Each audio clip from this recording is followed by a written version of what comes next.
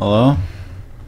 I'm going to play the game um, Minecraft, which is a game responsible for um, completely destroying my ability to be able to differentiate between reality and uh, the digital world. I do I do in fact believe that I grew up here. Um, as you can see here, I spent my teenage years, judging by those those buildings made for worship. It uh, completely destroyed my social life. It is responsible for the death of three people, namely one of my brothers, um, my neighbor, and my neighbor's cat. Um, and ever since I played this game, I I wasn't able to differentiate between the real world and Minecraft. Ever since I played Minecraft, I have completely um, denied the existence of other people. Um, and the people that I did interact with, I believe to be animals, which I do talk to because I believe I can understand animals, just like in Minecraft. This is my item generator. The large room up here produces monsters who then fall down this hole because of a water stream and fall here and die because of the height and give me items which I have tried many times to use in real life and ended up killing my neighbor. This is my little staircase, my extravaganza staircase ride bush kaboom which is which doesn't seem to be working quite right now.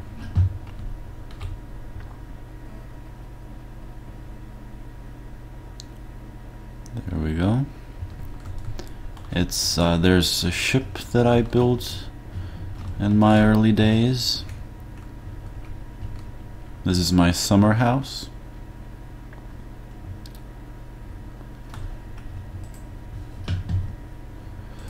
We're gonna go up now.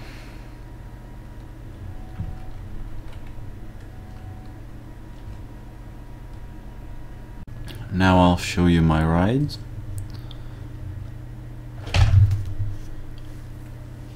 This is my house, my tower, my downward cross, my name, a poser devil eye rock hand gesture, my monster item generator, a portal to the netherworld, a descent underwater. Another ride through the fire and flames. Some fucking lagging. My garden, a planet, very minimalistic planet. And then here begins our fall, our descent into darkness. A ride into a dungeon. And this is an even more extreme fall that leads into a path under lava.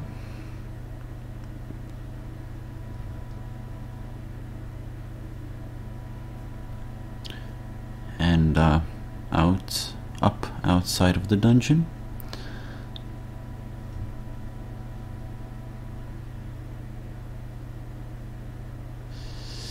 Come on, come on. There we go.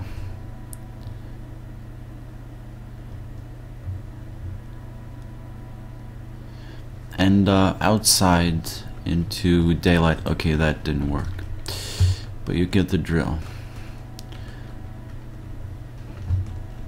As you can see, as you've probably seen before, my name is written down there in stone. And um, the letter P has a hole in it. Well, that isn't just a hole. That hole is actually a uh, window, if I'm correct.